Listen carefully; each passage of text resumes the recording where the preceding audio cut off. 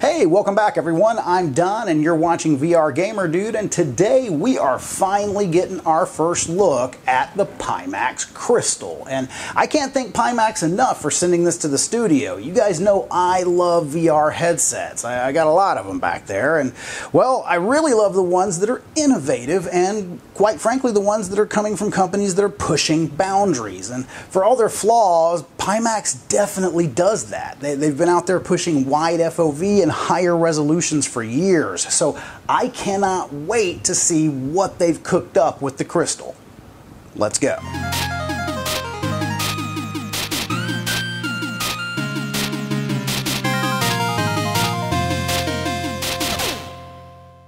All right, so let's go ahead and get into the box. But real quick before we do, you know, I've been reading a lot about some packaging issues that, well, people are receiving their crystals and they're opening them up to find a broken clip. Now, Pimax did you know, revamp their internal packaging. They've got some new foam pieces in the box to help with any pressure or damage that might be caused uh, from something, you know, boxes sitting on top.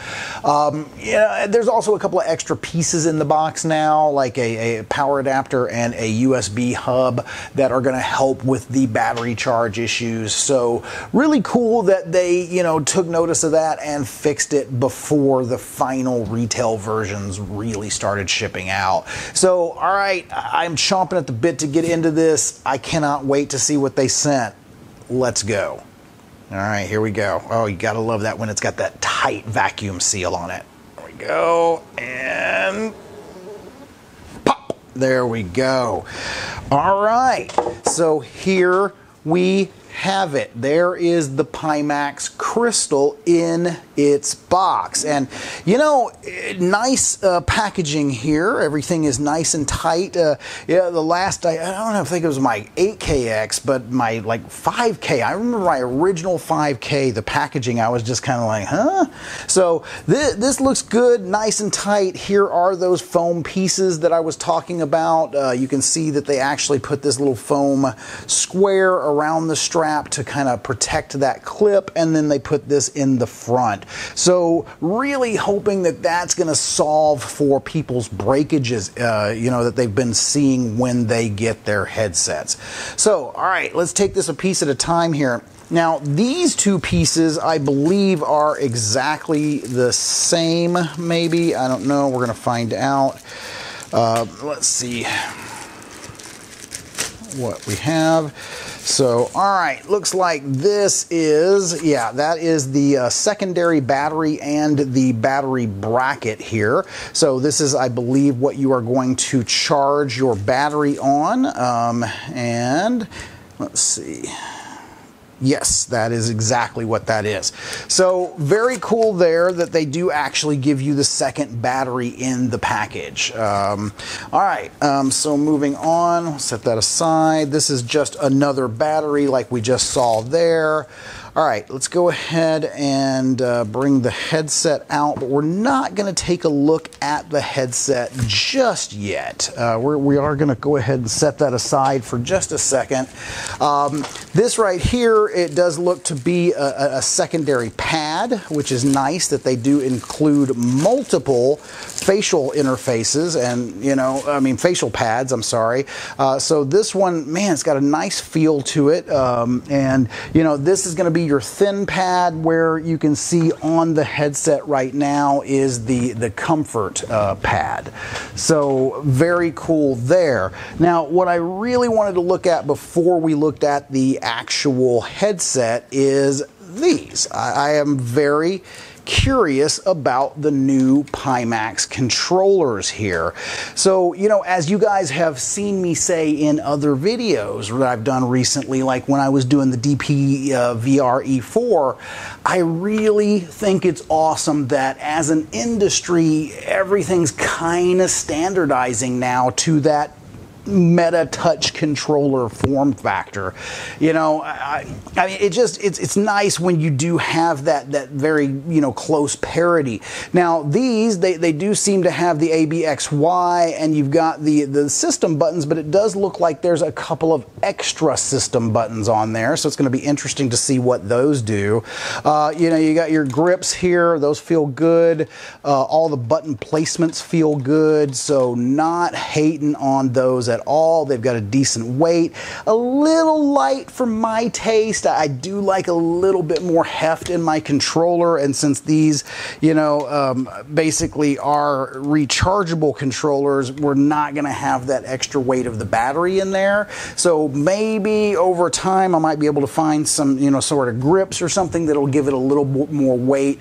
But overall, they feel fantastic. I mean, it's like if you've used a Quest 2 or or you know a Quest Pro. Obviously, you won't have the ring, but you still have that same setup in the uh, button configuration.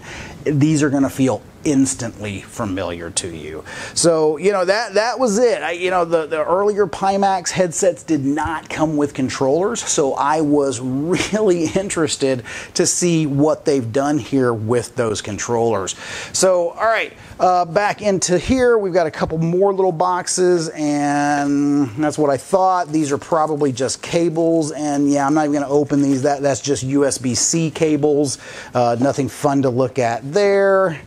And what do we have in this little guy? Okay, so this little guy, I believe, is the additional uh, dock that they, they have now started to include. And let's see if I can never get all this plastic off. And yes, so there we go. Nice little USB 4 port dock. Uh, so apparently that is actually going to help with some of the uh, battery charging issues that they have been having recently. There, there were some users in early headsets that were reporting that the batteries were draining even on the cable connected to the PC. So apparently some of that solves it. Obviously, we're doing an unboxing today. I'm not really going to get into all the technical specs of of the headset. That will be in the full review, which you guys should see probably in the next couple of weeks. I'm really going to play with this. There's a lot of stuff going on with this headset, so I really wanted to put it through its paces and, and kind of play with it a little bit uh, before you know I start giving my full opinions on you know all the little things here and there. So um, other than that, looks like we've got another box back here, and that's probably it. And I'm assuming in this box we've just got our you know, our cables. So, and, uh, and the power adapter. Yeah, so it looks like a power adapter. Once again, who wants to see a plug? Not going to take that out of the box.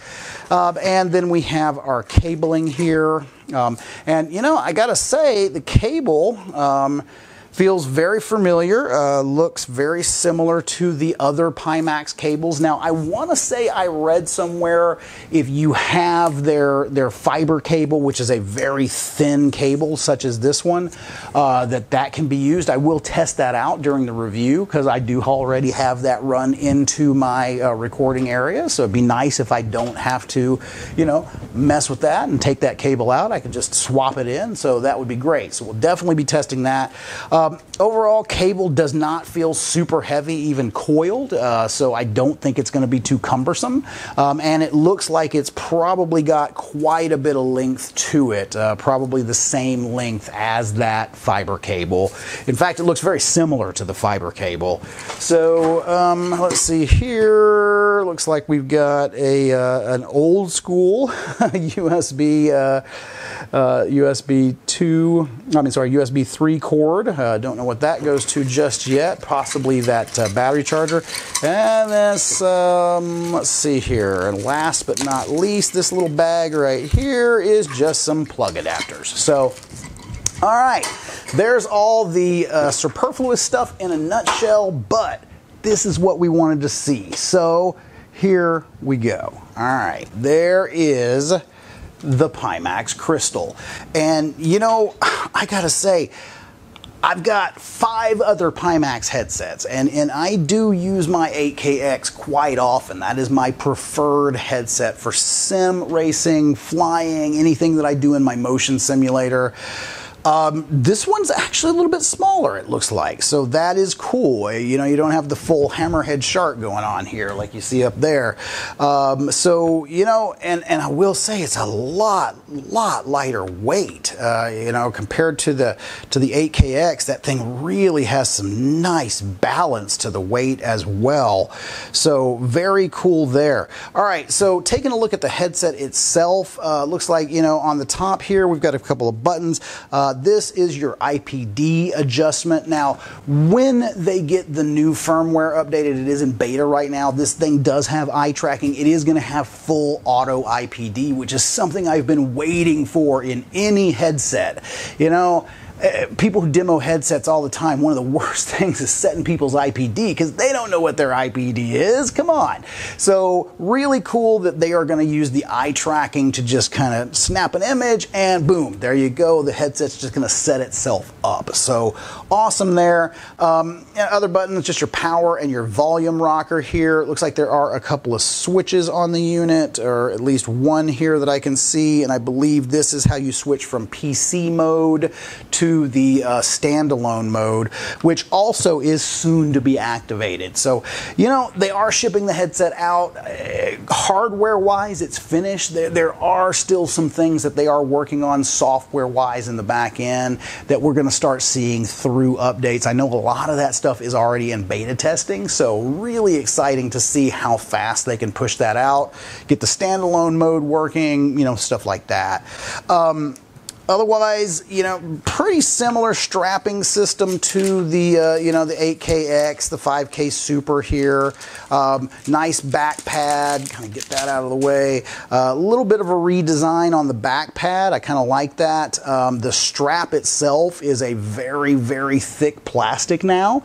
So that is also very cool. Uh, I love the fact that they stayed with the, the comfort kit uh, from, the, from the Vision series. That is nice. Um, and then there we go. So there is the first set of lenses. Um, you know, this is also going to have interchangeable lenses. One set of lenses is going to give you the clearer, crisper, sharper picture with a little bit of loss of FOV. The other set of lenses, which eventually should come in, um, those are actually going to kind of lessen that PPD a little bit and kind of give us back that almost full wide Pimax field of view that we're expecting from their So, uh, other than that, everything else, I mean, hardware wise, looks all sturdy. Uh, interesting, they now have this. Uh, that was definitely not on any of the other headsets. Uh, I have heard from some people that, you know, they have removed this and plugged it directly in. Uh, it does look like it's just a quick breakout, so very cool there. And we've got our premium audio attached. So, you know, guys, that's pretty much it in a nutshell. I, I don't know what more I can say about the Crystal other than I am super excited to get this thing hooked up and test it out. So, in the next couple of weeks, do expect a full review here on the channel. There is a lot to go through on this headset. I might actually break it up into two parts. I don't know, you know, just, just testing the different various features and functions of the headset. But bet your bottom dollar as soon as that's ready, I'll let everybody know with a nice post. And uh, thank you so much for coming by to watch this uh, unboxing. I know unboxings are usually not the most, uh, you know, fun things to watch, but trust me, we're going to get there. I, I'm going going to be testing the heck out of this thing, and you guys are going to hear about it every step of the way. But for me, that is going to do it tonight, guys. Thank you so much for watching to the end of the video if you made it this far, and uh, I will see you in the next one. This is Don, signing off.